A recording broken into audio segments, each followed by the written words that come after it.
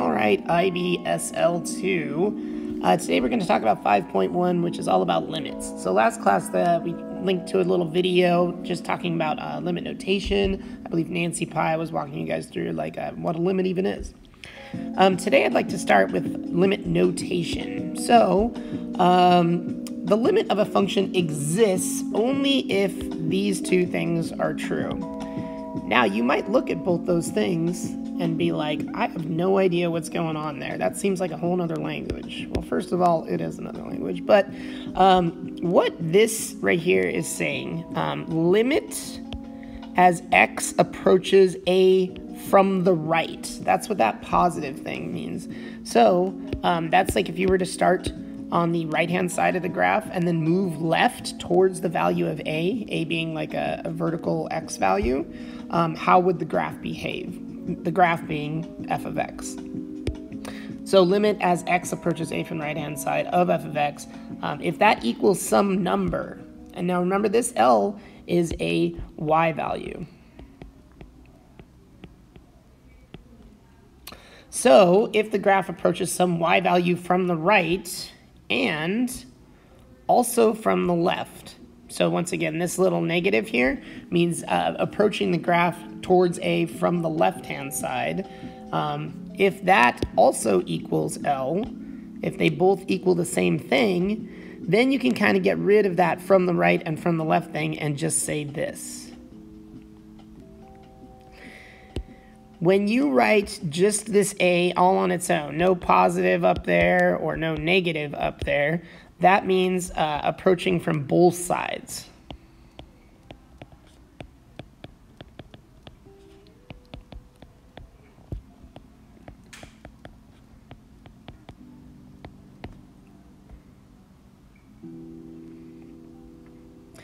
So, a limit exists if from the left hand side and right hand side it's approaching the same y value. Remember that this L is a y value on the graph.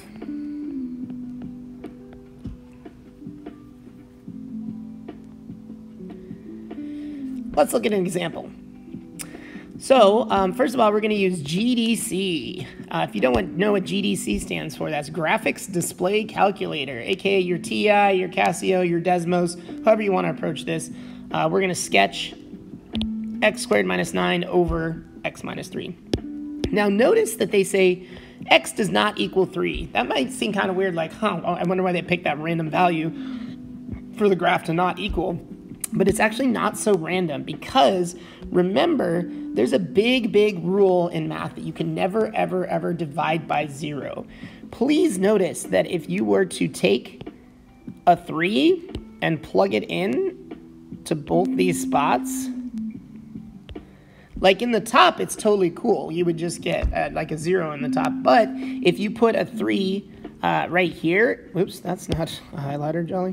Um, if you put a three right here, you, in the denominator, you're going to get three minus three, and that equals zero. And then all math breaks down. It doesn't work anymore. Uh, so anytime, like you can never ever divide by zero. So that's why they're telling us that there. Now, if you were to graph this on your calculator, it might seem kind of strange because it looks like a linear equation, and it is a linear equation. It looks something like this. Now, because they say x does not equal 3, that means that there's going to be a hole in this graph at x is equal to 3. So if I go over to like, you know, 1, 2, 3 right here, and trace it up to the graph, that means that we should actually put a little hole in this graph. So I'm going to put a circle. Uh, actually, I guess, yeah. Um, know that the inside of that circle shouldn't be filled in, but I don't want to erase that whole line. But yeah, there is a hole there at x equals 3. Now, why did it become linear? Uh, the book doesn't really focus on this, but I think it's all about zooming in on, don't erase, uh, this guy right here you can see algebraically why it became linear. So the top is factorable. That's a classic difference of squares. That's x minus 3 and x plus 3 all over x minus 3. Now, do you notice anything in the top and the bottom that can cancel out? yeah, there's an x minus 3 on the top and the bottom. So those go away.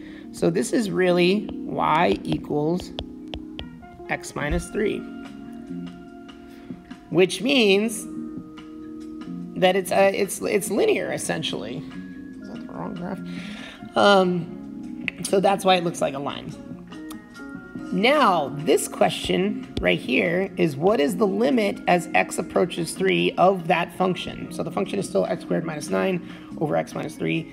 We want to know what's happening at 3.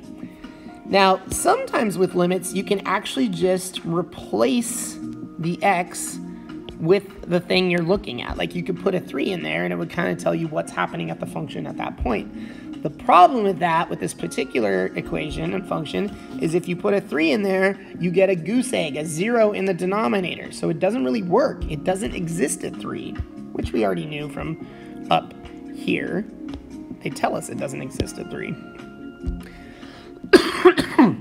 um, if you're using a graphing calculator or Desmos, you could zoom in on this point and then like see what what values are happening as you get closer and closer and closer from this side and closer and closer and closer from this side. I'm going to kind of approach that, uh, I guess numerically, I guess is the way to say it. Or I'm going to look at two situations. One where I replace x with a number that's really, really close to 3 from the left-hand side, and another one where it's really, really close to 3 from the right-hand side. So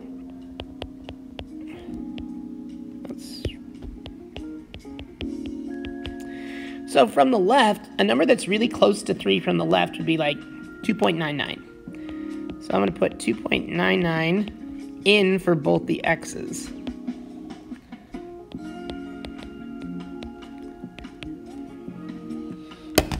Crunch that up on my calculator, and I believe this is 5.99.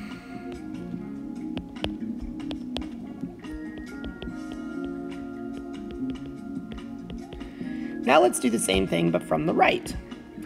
So um, from the right would be something that's a little bit past 3. So sticking with my two decimal points type of thing, I'm going to put in a, a 3.01.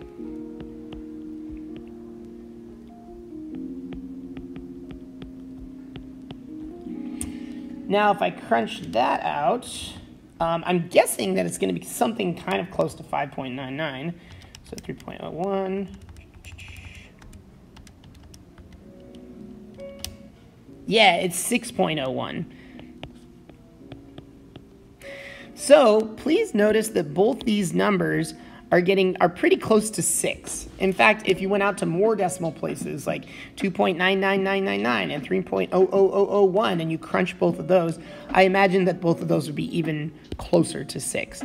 So I'm going to say because from the left it was approaching 6 and from the right it was approaching 6, that the entire limit as x goes to 3 of x squared minus 9 all over x minus 3, that this equals 6. Well, that didn't work very well. Maybe I won't box my answer. Okay, fine. Um, you could also check that this makes sense graphically. And I think if you were to zoom in on this place right here, that uh, these points right here, would, the y values would be getting closer and closer to 6. But remember, at that point, it doesn't technically exist. 3 comma 6 is not on the graph because when you plug in an x of 3 into the original, you get a, uh, a 0 in the denominator. So it doesn't work. So the entire limit equals 6. Next up, we're going to sketch this. Once again, if it says to sketch something, I'm fine with you doing any sort of, uh, you know, graphing calculator or Desmos right now. And then they tell us this funny thing again, x equals 0. Can you guys see why x can't equal 0? It's all about this guy right here. Dun, dun, dun. If you put a 0 in the denominator, you are certainly dividing by 0. So using technology, uh, you can see that this graph looks like your classic Superman graph. Remember that Superman is like an exponential graph. It starts out real low to the, uh, the runway, the x-axis, and then it takes off once it crosses the y-axis. Now remember, there is a hole in this graph because they say x cannot equal 0, so I should technically put a little open circle here.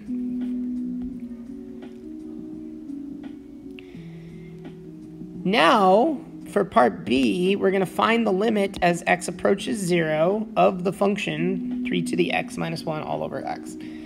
Once again, I can't just plug in 0 and like get at it right away because the 0 in the denominator, I can't divide by 0, so that doesn't work. But the whole thing about limits, remember, they're about all about like squeezing from the left and the right. So if you look at this graphically, if we were to, you know, approach really, really close to this point from the x uh, you know, from the left-hand side with x's and then from the right-hand side with x's, like what would it be approaching? I think I'm going to take a numerical approach. Well, it says numerically, but um, I'm just going to check from the left and from the right again.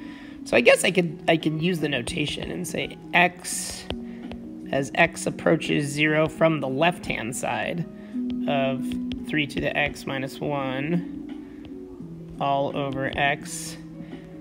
So remember, this is from from left. And then we'll do a from right as well.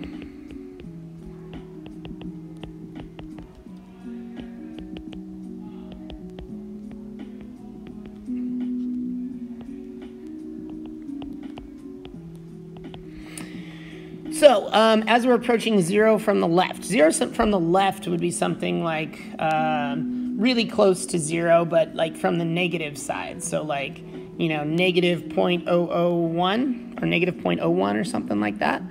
So I'm just going to check what 3 to the negative, uh, 0.01 minus 1 all over 0.01 would be. And then I'm also going to check from the right. So that would be something really close to 0, but on the positive side. So 3 to the like 0.01 uh, minus 1 all over 0.01 as well. So if I punch uh, both of these in, 3 to the negative 0.01, subtract 1, divide by point, negative 0.01. Oh, I forgot to put a negative in the bottom. I get 1.09. I'll use the approximation symbol because it wasn't perfectly 1.09. And then if I do 3 to the power of 0.01 minus 1, nope, drop it down, um, and then divide that by 0.01, I get 1.104. It's a little bit past. I'm going to do a few more decimal points just to illustrate that it is past that. So it's 1.104. Notice that these two values are pretty close to the same number. Um, excuse me, this side is a little bit under 1.1 and this one is a little bit over 1.1. So I'm inclined to say the limit as x approaches 0 of 3 to the x minus 1 all over x is 1.1. Nope, not to do the box. All right. Thing I have to show you guys, uh, we need to talk about horizontal asymptotes. So let's start with this function, f of x equals 1 over x squared. This is your classic volcano function. Um, it's kind of like the cobwebs, the uh, rational function, although, but one of the cobwebs has been flipped up into the positive axis, above the x-axis. Um, please notice as x goes, as x gets really, really big, um, that this graph approaches something. So if I go really far out on this side, like I go out to all the way to positive infinity, so this is like as x approaches, I think that's the notation they use, positive infinity. Yeah, sorry. Oh no, sorry. Uh, that would be infinity from the right-hand side. Ignore that. So as x goes to infinity, um, that the graph gets really, really close to zero. In fact, if I was to continue this, it would just get closer and closer and closer to the x-axis. As x goes to negative infinity, the same thing happens on this side, that this tail right here is going to continue to get closer and closer and closer to zero, or the x-axis. So, let's look at this example. Consider this function. Once again, x does not equal 1. We can see that x can't equal 1 because of this right here. If you put a 1 in the denominator, 0 again. Are you guys seeing a theme about where the holes are? It's where you can't divide by 0. Sketch it up. Um, you could sketch this with your prior knowledge, or you could grab a calculator at this point. No shame in that game. Um, there is a horizontal or a vertical asymptote uh, where x is equal to 1, because that's where it makes it the graph freak out, And because you can't divide by 0. So I'm going to do this is x is equal to 1. I realize I did two squares here, but I'm labeling it as x equal to 1. The horizontal asymptote is a little more nuanced. Uh, if you ever have a linear function divided by a linear function, um, the horizontal asymptote is the ratio of the coefficients of the leading coefficients. So then since there's a 1 here in front of this x, that means that 2 divided by 1 is 2, and then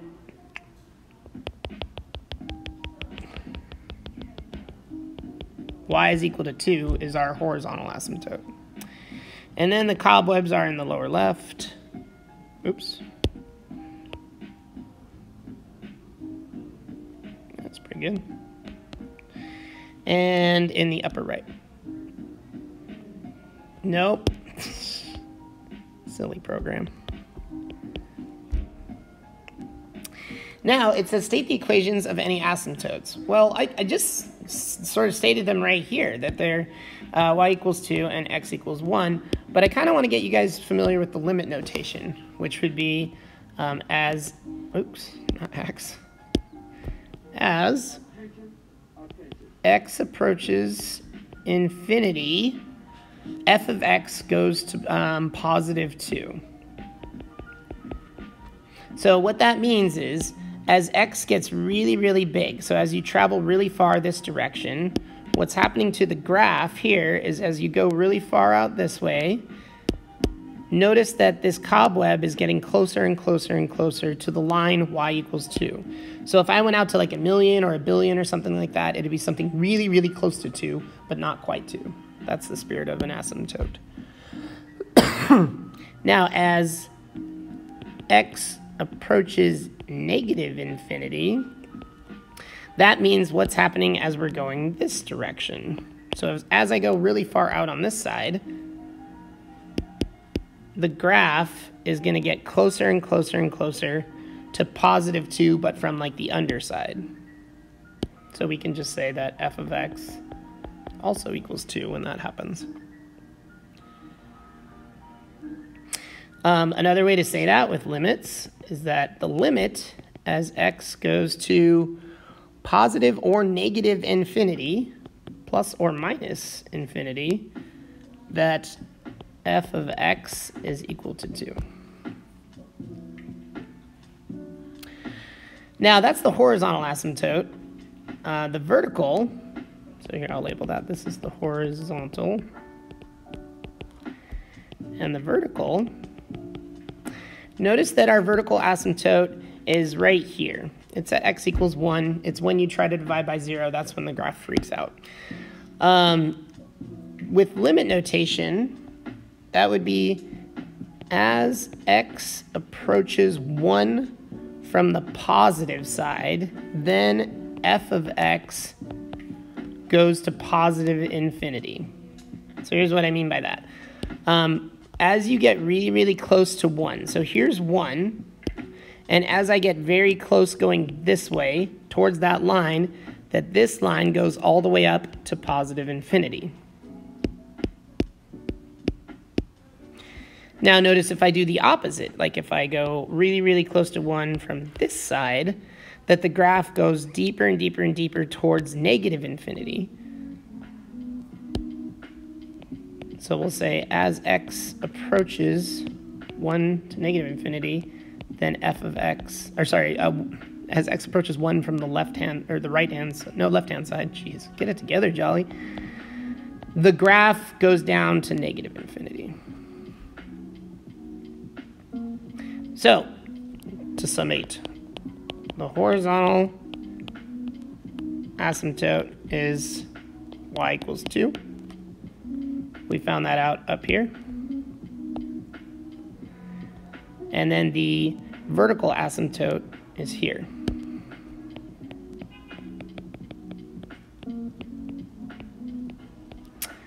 So uh, x is equal to 1.